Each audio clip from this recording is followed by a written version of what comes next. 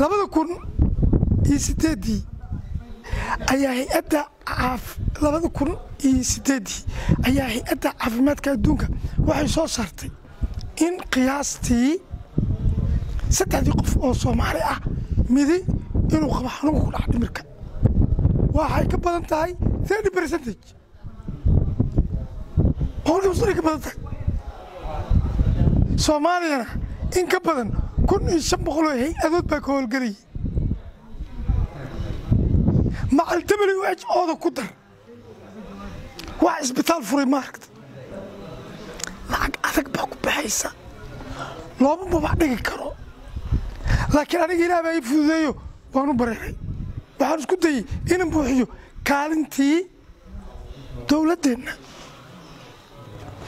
iyo tii united nationka iyo tii bay u korodhay aad marka fiiri xanuunka waxaa lagu yidhi waxaa sababa environmental problem. Environmental problem dhibaatooyinka dhacay deegaanka. Tusaale afar iyo tobankii oktoobar ilaa lix boqol ku dhaawacantay ku dhimatay. Intii aragtay intii jugta maqashay halkii qof.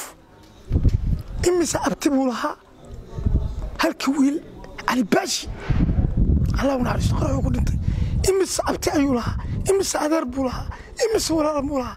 Aabe hooyo. Deris intay isku fasalka ahaayeen jaamacadda isla dhiganayeen war ma horta. Waxaasoo dhan adiga lix boqol waxaad ku dhufataa marka aad yarayso shan iyo toban ku dhufo lix boqol shan iyo toban ku dhufo horta ma horta intaas waa tolbataadi gees ilaa gasac gees. Waa laga maqlay. Aniga waan hurdayey waan soo booday waan naxay jirkay qaboobay. Trump igu maqwaay waana hubaa inuu ku xanuunsan doono. Laakiin shan sano lix sano kadib toban sano kadib ayaa leeyahay.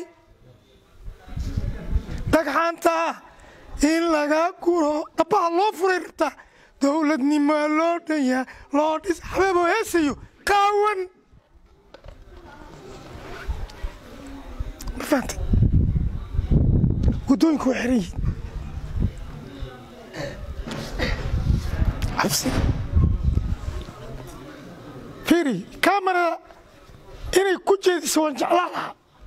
Imise gaariba halkaasii taallo. Ma qaadan karo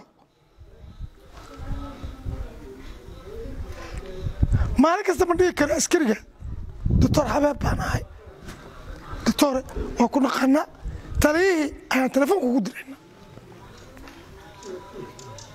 Intaasaa trooma ii ah. Magacaan leeyahay sharaf baan intaas ma u dulqaadan karo. Sokoran qaba dhiikan baan qaba